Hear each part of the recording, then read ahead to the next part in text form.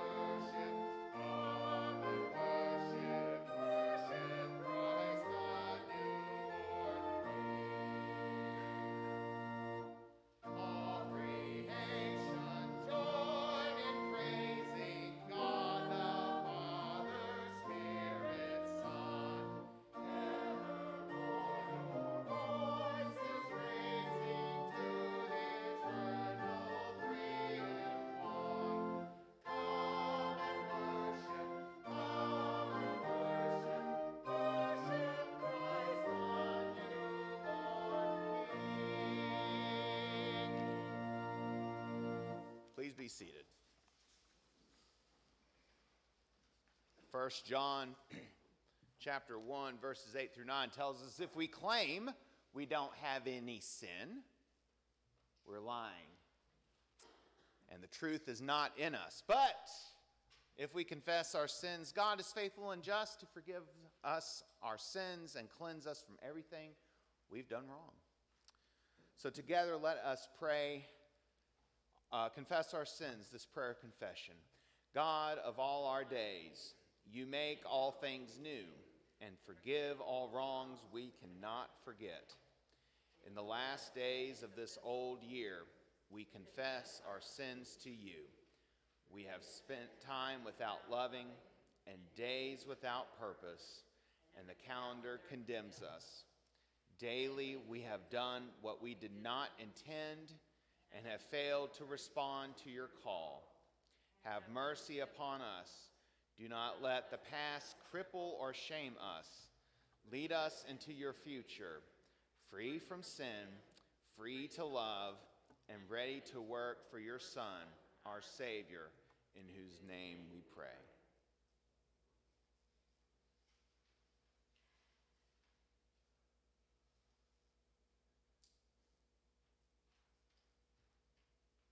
Amen.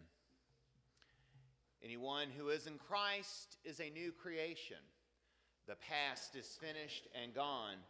Everything is fresh and new. Friends, trust the good news of the gospel.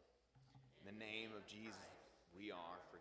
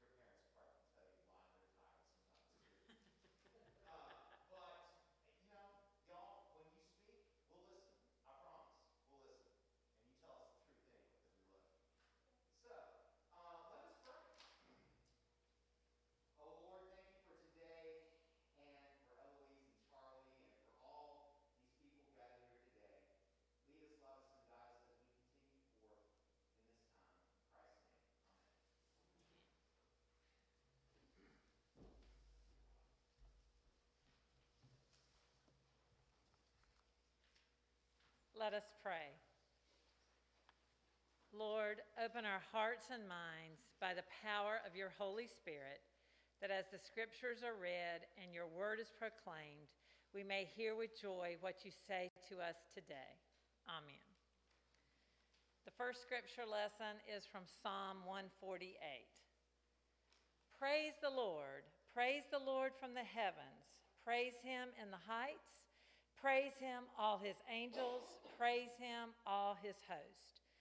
Praise him, sun and moon. Praise him, all you shining stars. Praise him, you highest heavens and you waters above the heavens. Let them praise the name of the Lord. For he commanded, and they were created. He established them forever and ever. He fixed their bounds, which cannot be passed. Praise the Lord from the earth, you sea monsters and all deeps, fire and hail, snow and frost, stormy wind, fulfilling his command. Mountains and all hills, fruit trees and all cedars, wild animals and all cattle creeping things and flying birds, kings of the earth and all people, princes and all rulers of the earth, young men and women alike, old and young together. Let them praise the name of the Lord, for his name alone is exalted. His glory is above earth and heaven. He has raised up a horn for his people, praise for all his faithfulness. For the Lord of Israel who are close to him. Praise the Lord. The word of God for the people of God. Thanks be to God.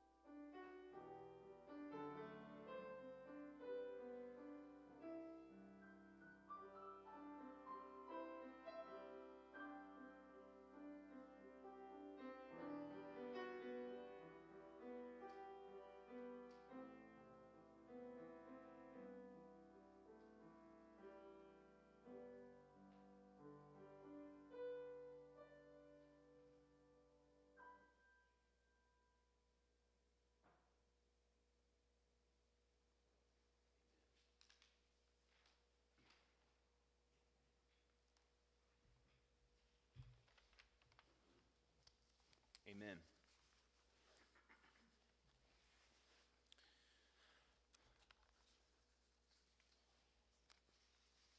Before I read Luke chapter 2, I do want to read a few verses from 1 Samuel chapter 2, verses 18 through 20 and 26.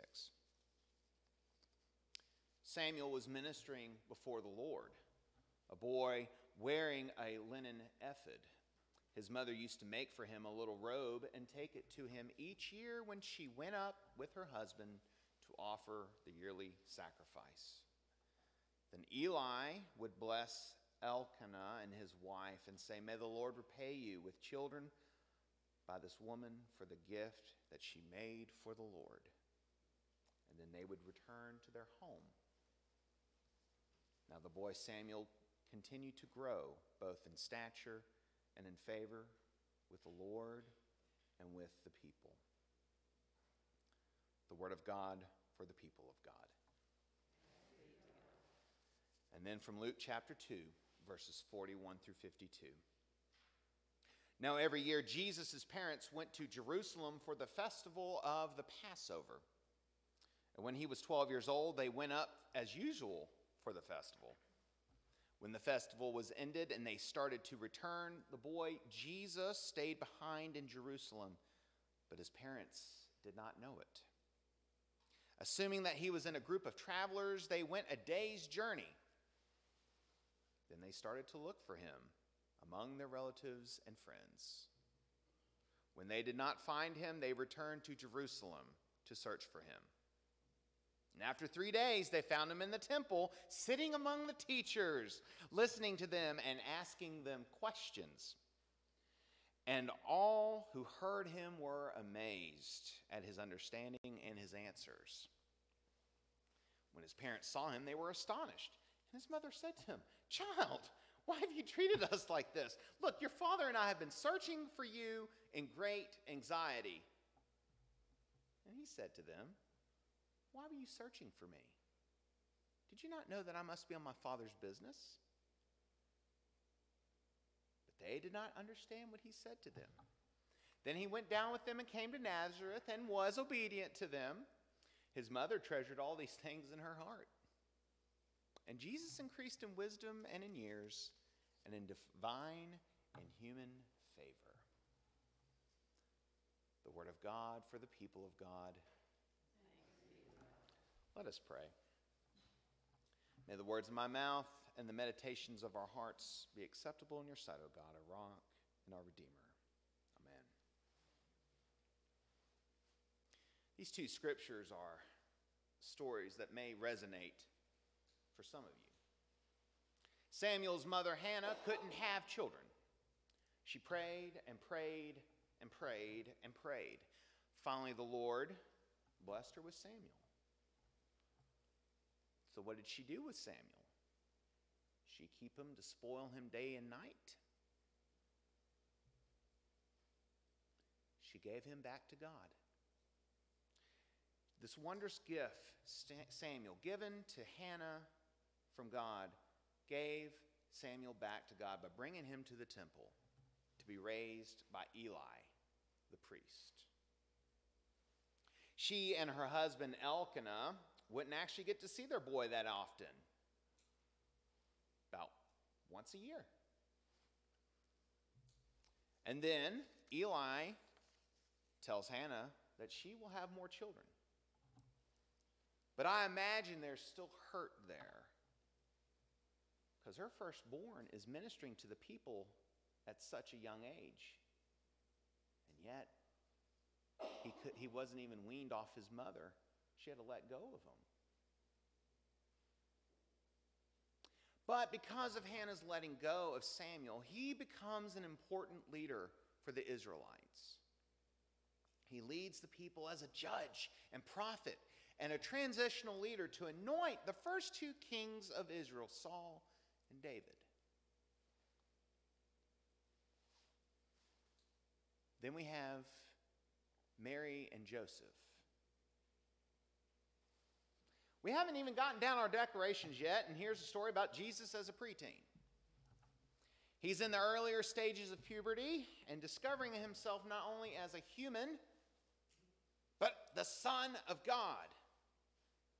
Imagine the stories Mary and Joseph could tell us about Jesus' teenage years. I mean, really, if he's staying behind in the temple at the age of 12 to wander off before all the hormones really kick in, who knows what he did as a teenager? You know, there are some differences between these two stories in, in, in, Samuel and in Luke. Mary and Joseph couldn't really let go. Maybe they wouldn't let go. Maybe they didn't fully realize the, vision, the mission Jesus was on even at his age of 12. They let their anxiety get the best of them. Or maybe they were tired parents who goofed up unintentionally.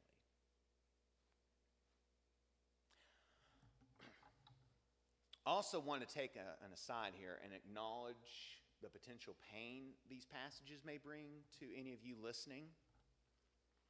Maybe for some of you, or you know someone who fervently prayed for children and never had children biologically. I also, want to acknowledge the pain that may be present in the room, or for those who will listen later, for those who have or know those who have lost children at any age, miscarriage to adulthood. I see you, and I want you to know that. But here are these two passages. One set of parents, especially the mother, Hannah, seems to have let go of her child way too soon. And I imagine there would be many here, including myself, who would balk at the idea of doing that, especially the other set of parents, Mary and Joseph, who seem to want to control Jesus somehow. They still don't get it when they see their son sitting down teaching the teachers. And even the teachers are amazed. And they at least can tell there's something special about this boy.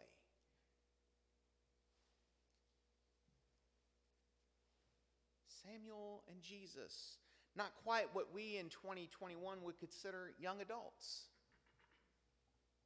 Nonetheless, they're young boys and they're becoming men and they're ministering to the people. Regardless of their parents, regardless of their circumstances, they are on an errand from God and they are just getting started. And I think of these two, Samuel and Jesus, and it's incredible the path their lives take both anointed by the Spirit to proclaim release to the captives, hope for the hopeless, and joy to the brokenhearted. While Samuel was a forerunner to Jesus, they were both leaders, not only in adulthood, but in childhood. Samuel was ministering to the people, and Jesus was teaching the teachers. how these two stories are paired together. I love how these two stories are also a sampling of the other young people God used in the scriptures, like the prophet Jeremiah and, of course, Mary, the mother of Jesus. I can't help but think about the young people throughout history who also led the way. The people who blazed the trails, the people who tread where angels feared to trod, the people who knew the time was now to act despite the outcome, even if it meant losing everything. Maybe, maybe you can think of you of your, for yourself.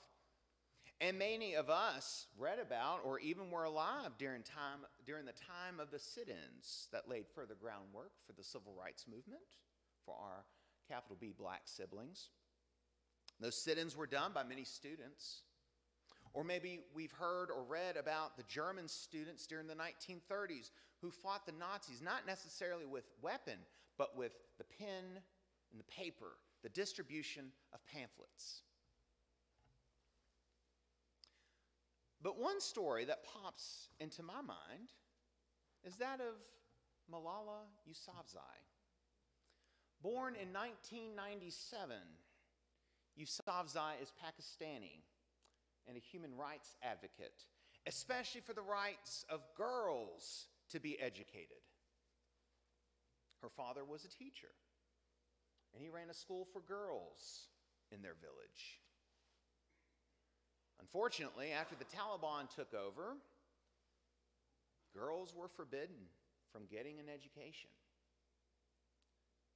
And from that point on, for about three or four years, Malala continued to speak out against the injustice of children, especially females, being denied an education. One day in 2012, while on a bus with several other girls after school, a gunman boarded the bus and shot her. But thankfully, she recovered and she continued and continues to speak out. Before she turned 18, she received the Nobel Prize. And as of 2020, she's a proud graduate of Oxford. And she still continues the work that people tried to assassinate her for.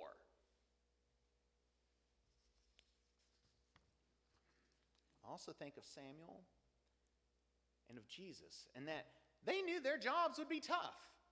Certainly, Jesus knew that, being the Son of God, and I'm sure Samuel figured it out sooner or later. For Ms. Yousafzai, I think she knew that at an early age, obviously. For these three people, they had to grow up just a bit sooner than everyone else. Some of their loved ones recognized it, while others probably didn't. Regardless of how many people understood or recognized their mission in this world, these three still had an urgency to do what they were led to do. Samuel became the prophet and judge of Israel, and ultimately a transitional leader to the Jewish monarchy. Jesus, the Savior, the Son of God, was getting right to work to proclaim the good news of God's kingdom that was running and continues to run loose in the world. Malala Yousafzai was forbidden to learn as a girl, so she sought to change that.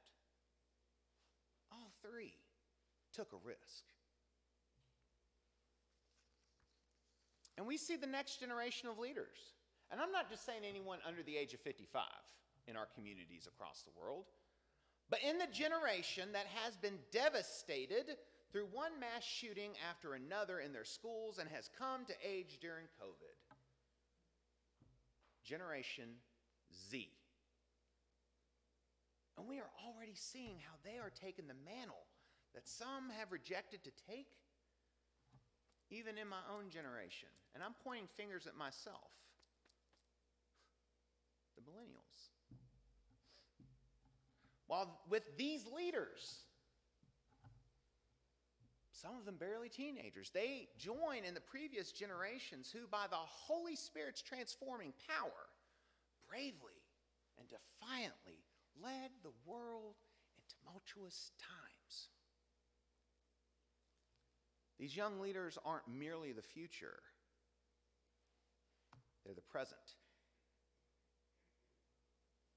So when a young person is ministering like Samuel in the temple, or teaching the teachers like Jesus, watch and learn. God is always up to something because God is in the business of doing something in strange, surprising, and new ways. God forbid, new.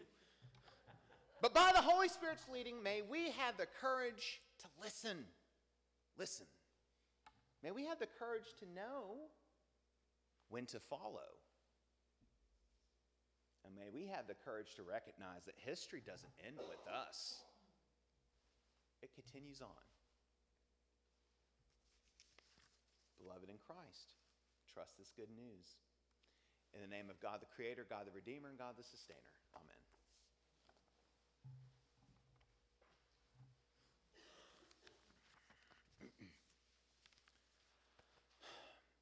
Let us rise in body or in spirit as we affirm these ancient words, the Apostles' Creed. I believe in God the Father Almighty, maker of heaven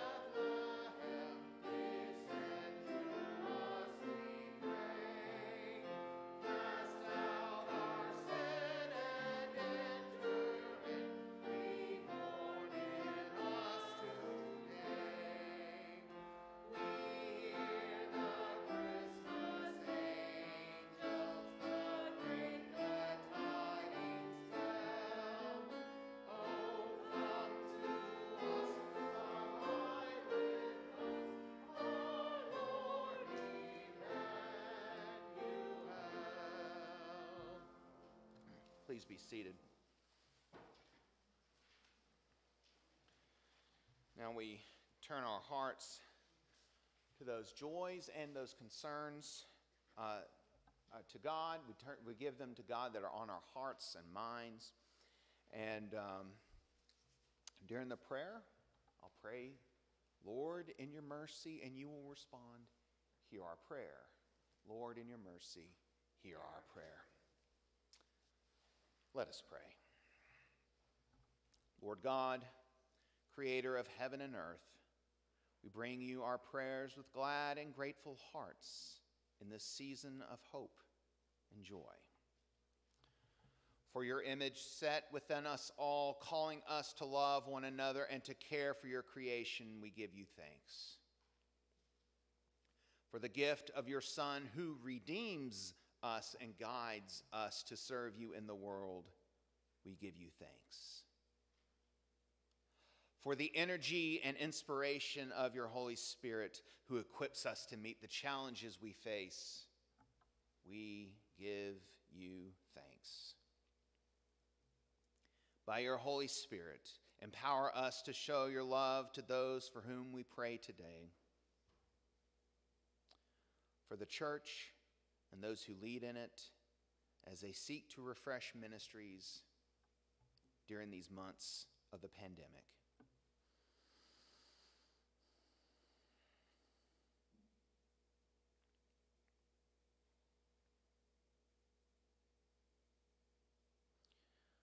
Lord, in your mercy, hear our prayer. For the world that you have asked us to care for amid the challenges the climate crisis creates.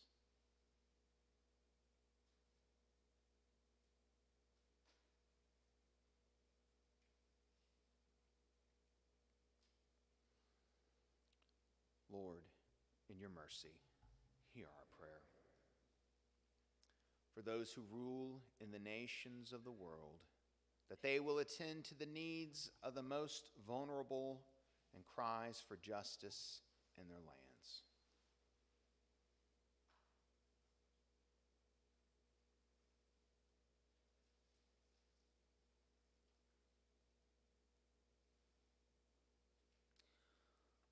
Lord, in your mercy, hear our prayer.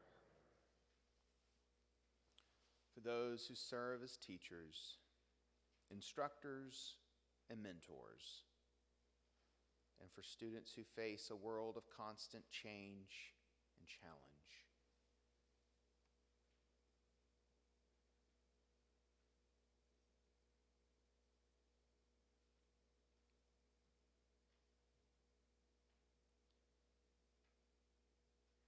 Lord, in your mercy, hear our prayer. For those who serve others as healers and caregivers, especially those feeling exhausted by the demands the pandemic has created on them and their workplaces.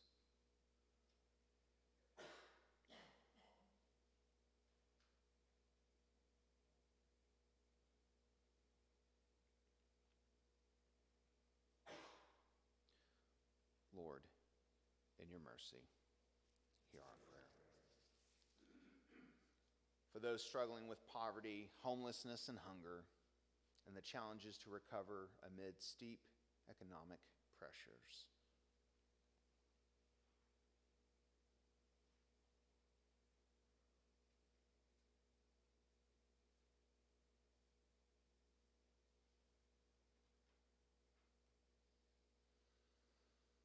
Lord, in your mercy, hear our prayer. For those who mourn the loss of someone dear, and those who feel alone or neglected.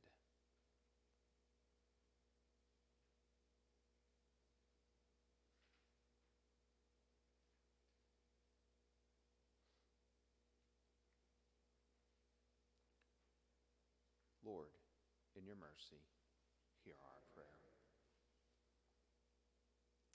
For those imprisoned for defending truth and justice, and all who experience exclusion powerlessness, and oppression.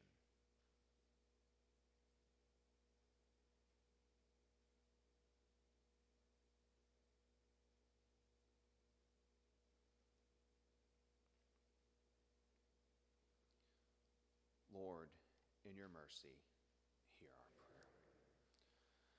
And we lift up to you, O Lord, the joys or concerns that are in our hearts, either aloud or silently.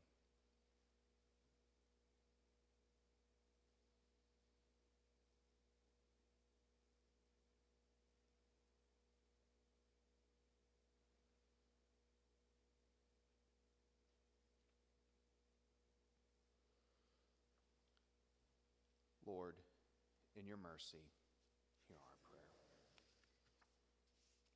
As this year of ongoing and unexpected challenges draws to a close, give us grateful hearts for what has been loving and life giving. Give us peace about things that have been painful. And focus our attention on emerging opportunities to grow closer to you and to each other. Keep us faithful in all we do. In the name of Jesus Christ, our friend and Savior, who taught us to pray, Our Father, who art in heaven, hallowed be thy name. Thy kingdom come, thy will be done, on earth as it is in heaven. Give us this day our daily bread, and forgive us our debts as we forgive our debtors. And lead us not into temptation, but deliver us from evil. For thine is the kingdom, and power, and glory forever. Amen. In Colossians, we are reminded that whatever we do in word or in deed, we do everything in the name of our Lord and Savior Jesus Christ, giving thanks to God the Father through him. And we give our offerings a little differently these days, but they're no less. Our, we place our faith, our hope, and our trust in our Lord, giving thanks for all God has given us.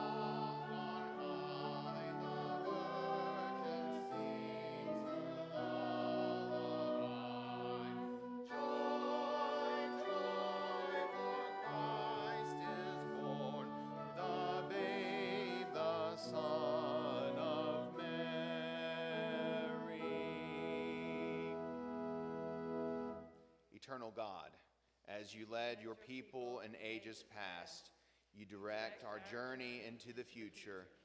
We give thanks that you came to us in Jesus Christ to show us the way, and that Christ continues to lead us.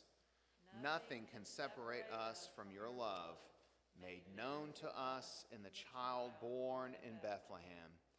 Use our gifts and our lives in his service. Amen. Good